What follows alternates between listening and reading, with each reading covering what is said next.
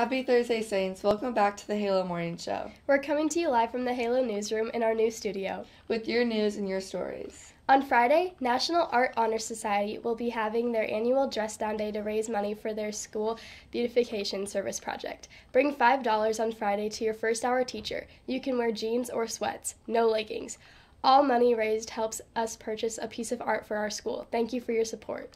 Your girls basketball team opened the sub-state playoff win with a 52, 55 to 25 win.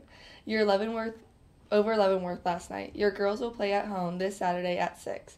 A win will send your girls to state for the state record of 26 years in a row. You we need all our fans to cheer on our girls. The saint of the day is Saint John Joseph of the Cross. He entered the Franciscan community at the age of 16. A humble man, he was asked to serve his community in a number of leadership roles, including provincial minister. Yet he retained his simplicity throughout and retired to the quiet service of confessor. And now it's time for the fun fact of the day. Did you know that mosquitoes are the world's deadliest animal? Wow, I did not know that. Thanks for watching today's show. I'm Greta, And I'm Maddie, Signing signing, off. Remember, stay classy, saints. and make this day count.